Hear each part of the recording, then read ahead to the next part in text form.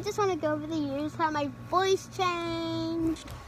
So my first episode, I was like, "Hi, welcome to my first Total Drama episode."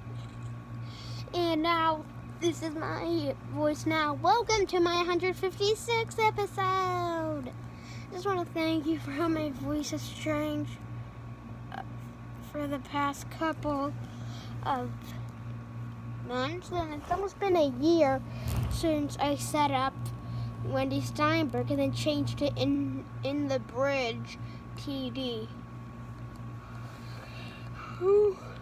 I call it in the bridge because it sounds cool and it's like Bridget, my favorite character.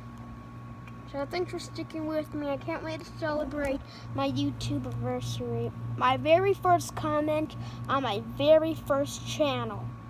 I will reveal that next episode or whatever. But my channel got deleted because my mother deleted YouTube on my Kindle. That chat that channel got deleted, but that comment is still there. The day I got logged into YouTube.